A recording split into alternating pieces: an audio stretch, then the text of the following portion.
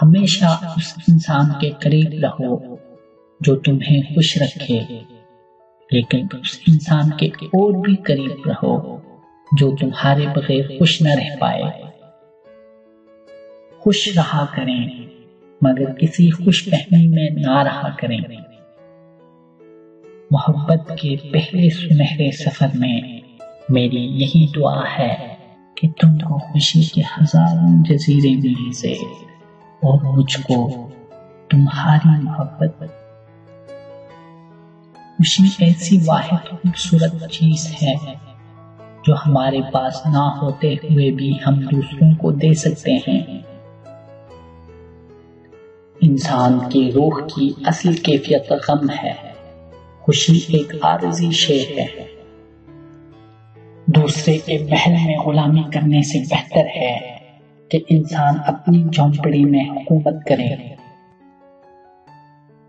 अच्छे अल्फाज पर कुछ खर्च नहीं होता, लेकिन अच्छे अल्फाज से बहुत कुछ हासिल होता है। हर एक सू सिर्फ़ वीरानी रहेगी, खुशी बिन तेरे अनजानी रहेगी। खुशी इंसान को इतना नहीं सिखाती जितना गम सिखाता है। रब कहता है, किसी को तकलीफ़ देकर मुझसे अपनी खुशी की दुआ मत करना। लेकिन अगर किसी को एक पल की खुशी देते हो तो अपनी तकलीफ़ की फ़िक्र मत करना। कुछ तूफानों को अपने अंदर कैद कर लेने में ही बुलाई होती है, क्योंकि वो बाहर आते हैं। तो बहुत कुछ तबाह हो जाता है। कुछ मत समझिए, आप खुश रहेंगे।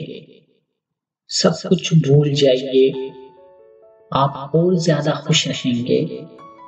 हर किसी से प्यार कीजिए। आप बहुत ज़्यादा खुश रहेंगे। एक जगह गिरना पड़े तो गिर जाओ रिश्ते निभाने में। लिखने वाले ने क्या खूब लिखा है। ज़िंदगी जब मायूस होती है तभी महसूस होती है। किसी भी इंसान की खुशी का वजह बनो, खुशी का हिस्सा नहीं, और किसी भी इंसान के दुख का हिस्सा बनो, दुख की वजह नहीं। जहाँ ताल्लुकात में एहसास नहीं होते सिर्फ़ मतलब होता है, वहाँ लोगों को महसूस तक नहीं होता। कौन हमारी ज़िंदगी से कब, कैसे और क्यों निकल गया?